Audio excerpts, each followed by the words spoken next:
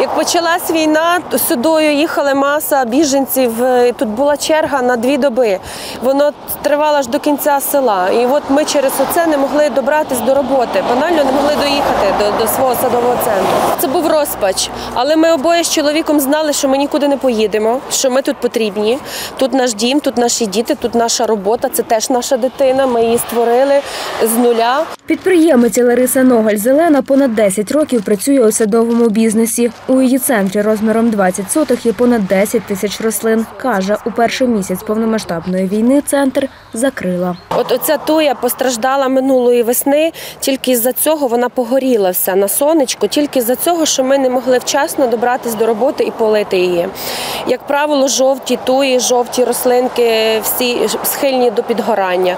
От оце одну потерпіло. Лариса Ногаль Зелена каже, вдалося відновити роботу у квітні. Це на місяць пізніше від початку сезону. Тоді вона з чоловіком працювала у центрі лише вдвох. Працівників нас під час от війни, коли б часу просто не було. Ті, що працювали, виїхали за кордон.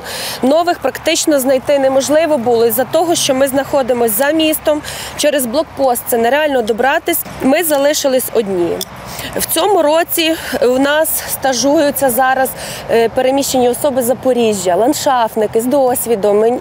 Плюс вони поруч знайшли житло. Наступна проблема, з якою спіткнулася Лариса – відключення електрики через російські обстріли. Тоді, каже, витратили приблизно 50 тисяч гривень на два генератори. Це для нас дуже велика проблема, оскільки наш полив, насоси працюють на електриці. Рослини всі треба поливати, особливо крупноміри.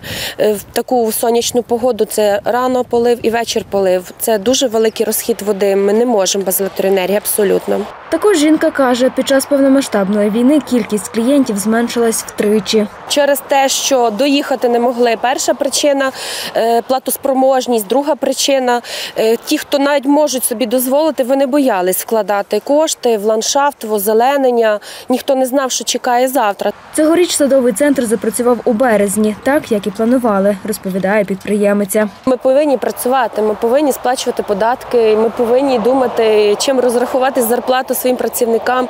Повинні саме легше скласти руки. А як же ж потім це все відновити? Ми не можемо здатися. За нас солдати там воюють, вони не здаються, і ми не можемо. Анастасія Кисіль, Андрій Бодак, Суспільне новини, Тернопільщина.